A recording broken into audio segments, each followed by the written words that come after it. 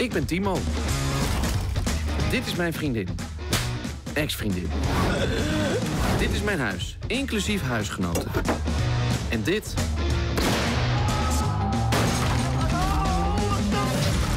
is wat er misging.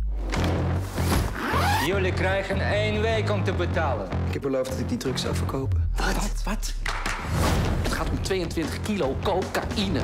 En nu? Ik kom toch nooit op obscure drugsplekken, weet ik veel. Hallo. We hoeven niet te dealen, we moeten het alleen zien te verkopen.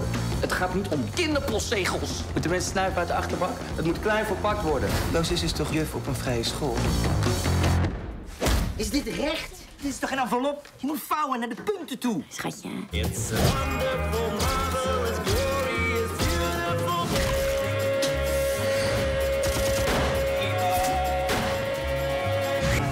Homies, te zien bij Filmijn.